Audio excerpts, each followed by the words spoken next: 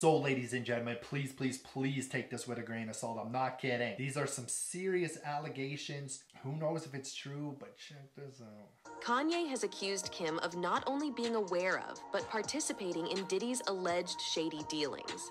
He also claims she had intimate relationships with both Meek Mill and Diddy. Hmm? These accusations, whether true or not, are serious and could have legal and personal consequences for all involved. Kanye's history of making private accusations public complicates the narrative, as his statements often mix personal grievances with potentially unfounded claims. So there you guys go. Kanye West allegedly came out and said, Kim, you slept with Diddy, you slept with Meek. And then allegedly Ye claimed that Kim was even a part of this Diddy mess with Diddy. That's why I'm saying, ladies and gentlemen, this is some serious stuff. Like, no, I'm not kidding.